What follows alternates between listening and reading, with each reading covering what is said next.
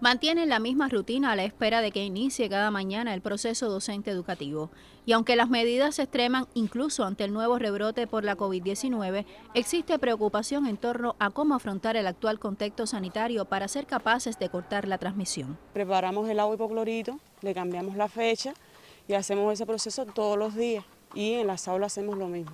Con lo que vivimos este último año eh, fue bastante preocupante y yo no quisiera tener las niñas en la escuela, pero bueno, las cuidan bastante bien. Realmente no estamos cuidando. Así que por esa parte no estoy preocupada por eso. ¿Cómo lo hacen en el aula? Eh, bueno, nos echamos alcohol, eh, tratamos de tener el distanciamiento posible. Hay que seguir luchando contra esto y cuidándose mucho más. ¿Se cuidan en tu aula? Sí, sí.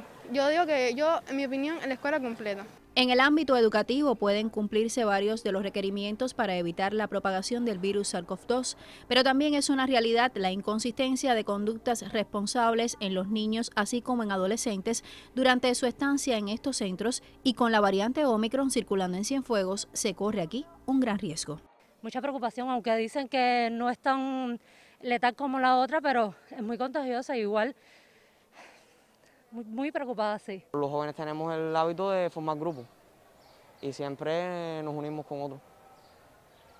Pero mientras tengamos nuestro buco, creo yo que eso no, no, mientras cumplamos las medidas, no hace tanto efecto. Los niños no tienen en cuenta subirse en, en buco para arriba y tenerlo arriba a ver, porque se le baja o algo así y no, tienen, y no se preocupan por eso en subirse. Hay distancia. Lo que a veces no sepa, lo unimos y la profe los regaña por eso. Que tomen medidas.